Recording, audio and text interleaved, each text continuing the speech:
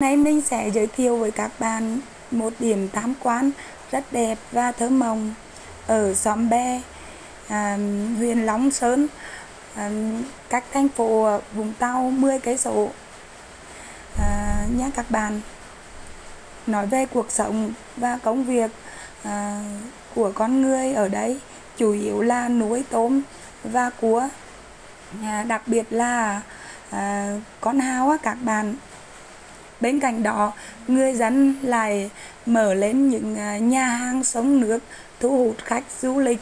về đấy nghỉ ngơi quá báo ngày mệt nhọc căng thẳng giữa bốn bề công việc. Khi các bạn đến đấy có ừ, cảm giác ờ, như mình ở một nơi ờ, xá là ờ, cách thành phố bình yên và thơ mộng à thấy được con thuyền của một nhà hàng đang chuẩn bị khai trương. Con uh, tàu này sẽ chở khách ăn uống um, phục vụ khách hàng uh, sẽ đưa khách hàng tham quan uh, vẻ đẹp của làng bè và um, thưởng thức những món ăn uh, của sống nước nhé các bạn.